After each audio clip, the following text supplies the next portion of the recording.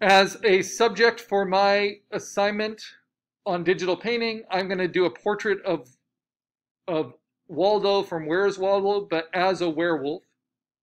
And so I have multiple inspirations here in different ways. Remember, it's a digital painting as long as I don't see line art at the end of it. So I can have line art and digital coloring as inspirations, but my end product is going to be a digital painting.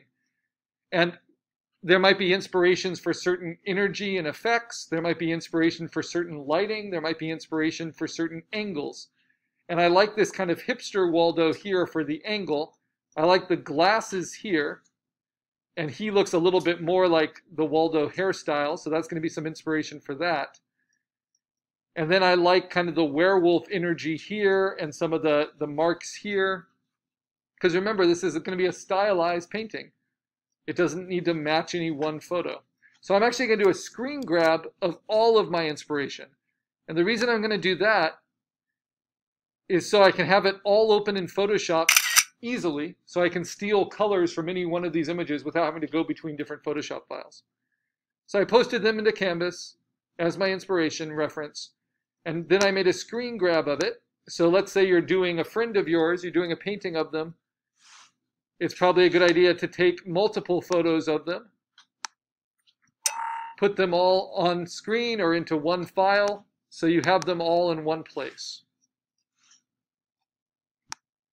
I also don't want to lean too heavily on any just one photo, especially if I'm trying to get likeness, because any flaws in that photo, any weirdness to the, the, the lens length or to the lighting, handicaps what I can do with the painting. All right, so let's get started. First, I'm going to open up my reference in Photoshop. Doesn't matter how big or small it is because we're just looking at it. Next, I'm going to open up a new file in Photoshop. This is a complete raster project. So I say File New, and I get to set the size and the resolution because I'm going to be creating all my own pixels. So I don't want to create them too small. So I'm going to make it 11 inches wide by 14 inches tall.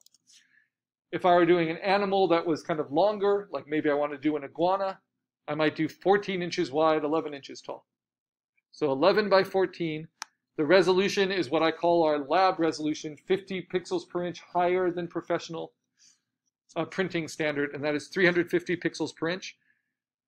I like that because it keeps it not overly large for the computer. But if I wanted to print it at 16 by 20, I still have enough resolution to do that. And that's the largest we can print in the lab, practically. All right, so now I have these two files, one of reference and one that's just blank white at high resolution. And what I want to do is set up the computer screen like I have in the assignment where one is next to the other. Now you can have it where your reference is open in preview and kind of floating, but it's ideal, and we have nice big screens here, it's ideal if you can have them both open in Photoshop and side by side. So the way to do that is to go to Window and Arrange and say two up vertical. And that will allow for two windows to be open in Photoshop and if you're doing something really horizontal like an iguana, you can also do window arrange two up horizontal, right? But for me, vertical makes more sense. And if I click on the border and kind of collapse it a little bit, and then click on this one and zoom out a little bit, I don't necessarily need to see this as big as I need to see my paint surface. Okay, this is what I'll actually be painting on. And the first thing I want to do is rename the background blank canvas. So I'm not calling it blank white, it's just the blank canvas. And I want to be careful not to paint anything on that. Because I want to separate whatever I paint from any background behind it. So what do I do? It means I lock it with the padlock. And then I make a new layer on top. And on this layer, I'm going to just put in my sketch layer. It depends how you want to paint. Again, you can paint with just shapes. You can paint with a sketch first. When I'm doing kind of humans, I like to sketch first. And I'm going to zoom in on this guy. Whoops, not that one. Because I like this kind of angle a little bit. So on my sketch layer, I'm going to stay on this file. I'm going to use my brush. And it doesn't really matter what color I use, but I'm going to pick it in the foreground color selector. I'll use kind of a, a purplish gray, why not? And I'm going to set it at an opacity of about 70%. I don't want full opacity. And then I'm going to, this is very important, we're going to be using this brush tool for almost everything in digital painting. So these tool options at the top. This is a pretty common way to set it up. About 70% opacity, about 100% flow. Normal mode. So it's all predictable. But then your brush, I'm just going to start with a very typical pressure sensitive round brush. But I want to make it large enough that when I push hard on my tablet, it fills up the whole circle. It feels like it's really covering some space. And I want to make it hard enough that it return, retains its edge, but not so hard that it just looks like it's cut out, right? So I'm going to make it around 70% hardness and around maybe 200 pixels large for this resolution. I like to think of it as the size of a pencil eraser. All right, now I'm just going to start sketching it in on this sketch layer. I'm going to start with some basic shapes. Some circles, some ovals, some wedges, and I'm going to try to find where the lines are for the eyes. It's funny, last semester I did a portrait of my dog like as a human, as kind of a military general. Now I'm making a human more into a dog. So it's just what's on my mind.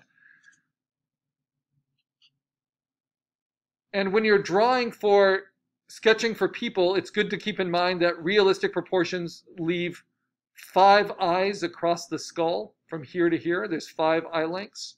That leaves one eye length in the middle. And then between that eye length is the width of the nose. And the nose is roughly attaches halfway down from the eye line to the chin. The eye line is about halfway down the, the head. This is all just kind of portrait drawing techniques. These things can be looked up. What's a little bit more individual for people is how their, their lips fall on the bottom half of their face. And so his lips are about one third of the way down from the bottom of the nose to the chin. He has a pretty prominent chin. So I'm just going to kind of mark that in. I'm not going to get hung up on the glasses because I want to use a different design of glasses anyway. I want to find where the top of his skull is, about there, and then I want to figure out the hat. That's so distinctive because it needs to fit over the skull. And what's nice about doing something like a character like Werewolf Waldo is I don't need to worry about making this person recognizable. In fact, it's better if I don't, but I can can be inspired by by that example and by the hairline. Now this head looks a little little uh, narrow and tall to me. So once I've kind of sketched in the neck, which comes from the base of the ears, and figure out kind of the neckline a little bit, I don't think I'm going to do all the the backpack and snorkel kind of attributes. And I don't know yet how I'm going to turn it into a werewolf.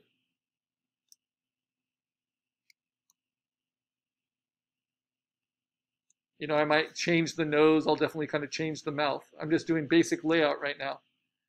But what I can do is already on this sketch, the reason we separate it onto a different layer is I can hit Command T, and then I can right click, and I can warp, and I can kind of push and pull my sketch a little bit. So if I feel like it's a little too narrow, think his shoulders are too narrow. I can widen those, especially if I'm going to turn him into a werewolf, and then kind of pinch in here.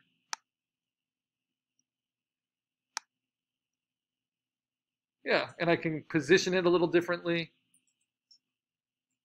Hit return. So I took it from this sketch, which was fine, felt good while I was doing it, but once I played with warping it, realized that this was better. Now I might recenter my sketch, move it a little bit.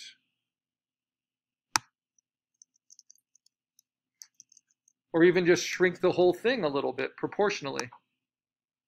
So I have room to, to grow. So if you're doing a human, I want you to do it from the shoulders up. I don't want you to try to do the whole body. That's a lot. And most of the skill is going to be shown in the face. You can always add a body later. And if you're doing an animal, I do want you to do it from head to toe on just a blank background.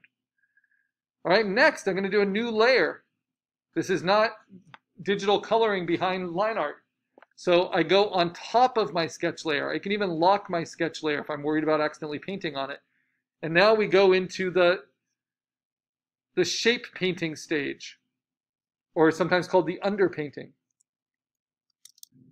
So shape painting can be done with the same kind of brush. That's what I'm going to use now. But then any more refinements on that, it's good to customize your brush to get kind of a texture or a feeling that you want. And now for this shape painting, I'm going to zoom in a little on this.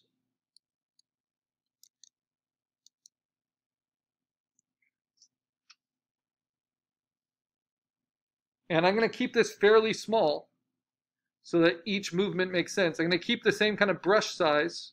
If anything, maybe make it a little bit bigger, more like 400 pixels instead of 200. And I'm going to keep it at 70% opacity, 100% flow, 70% hardness. But now I'm going to hold down Option and steal colors.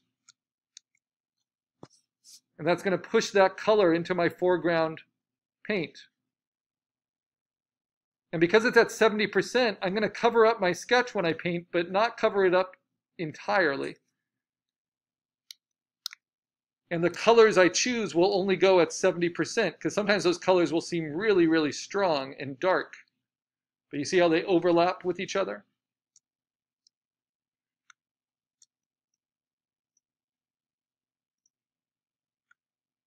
So this isn't a very creative stage. This is just a, a stage of blocking in, color blocking.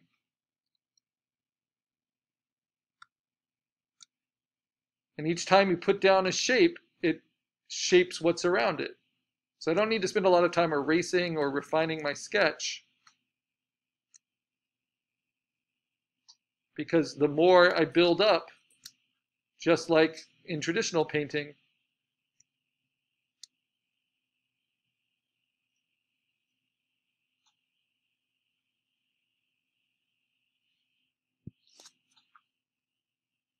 the more what's underneath it gets covered up. I like that he has kind of bags under his eyes. I can definitely exaggerate that for the werewolf aspect. But right now I'm just trying to, to get rid of the whites. It's my kill whitey face.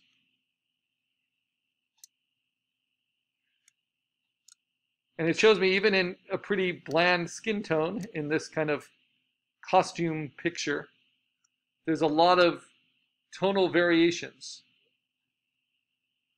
that can be played with, even if I'm just stealing color. Sometimes I'll just steal the white from my background using option because it's only at 70% and then layer on top of it. And then I can always steal from my own colors to get these kind of tonal variations. Now this is what's called rendering kind of turning something two-dimensional into the illusion of something three-dimensional. And it gets easier with practice. And put in some of these bold colors before this video ends. And that's what we'll pick up next class. And we'll start customizing brushes. And some people choose to do this kind of color blocking, shape painting without even taking the time to do a sketch because you kind of find your way as you go. So whatever works for you.